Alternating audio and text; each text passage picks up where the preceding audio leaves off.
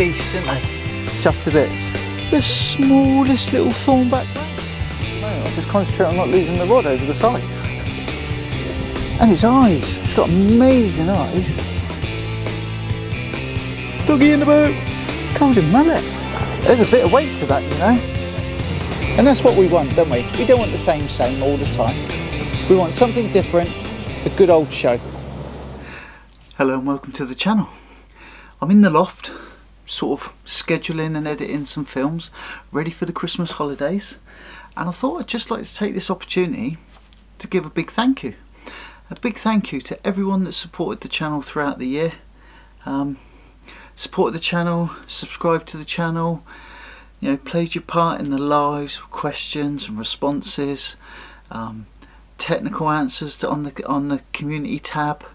Um, the community tab's been a powerful tool. I know some people don't seem to use it, but there's loads of information in there, and it's a good way of communicating backwards and forwards. Because obviously this is a this is a one-way transmission, really, isn't it? But the community tab is and the comments is all possible for you to to feed back into the channel. And I've listened, so things that have been fed back, I've tried to act upon, but it's all been good. And you know, I'd just like to wish you all a joyous Christmas, an epic new year. I know it's been difficult for some. I count myself very, very lucky with with what's happened over this past, I suppose, nine, ten months now. Um, but yeah, spend time with your family if you're allowed. Um, look after yourself, stay safe, enjoy yourselves, relax, recuperate, and let's see what epic fish we can catch New Year. So we've got loads planned. Um, restrictions allowing venue species got a couple of specific species that are on my target list for next year should make for some interesting viewing.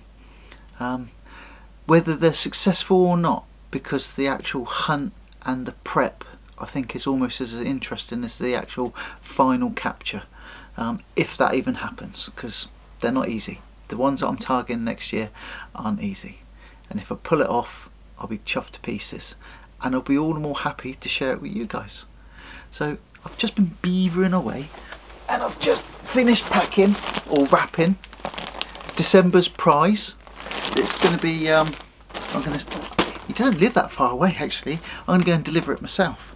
Um, Billy Haynes won the December um, competition, came first. Um, number two hasn't contacted me. If you were number two on the draw, and I haven't checked the name again because I've looked and my brain's like a sieve, it's gone again. Um, I've got a screenshot, but yeah, number two hasn't hasn't contacted me. So there's someone out there that could have a prize, but hasn't because they haven't contacted me. so yeah, that's going to be winging its way over across in a minute.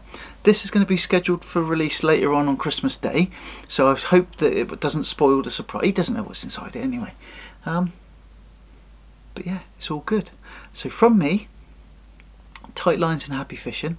I hope to spend time with you again sometime soon. From me, for now, in the loft, in the editing suite, Merry Christmas and a Happy New Year. I wish you all the very best. The tings have arrived. No elastic.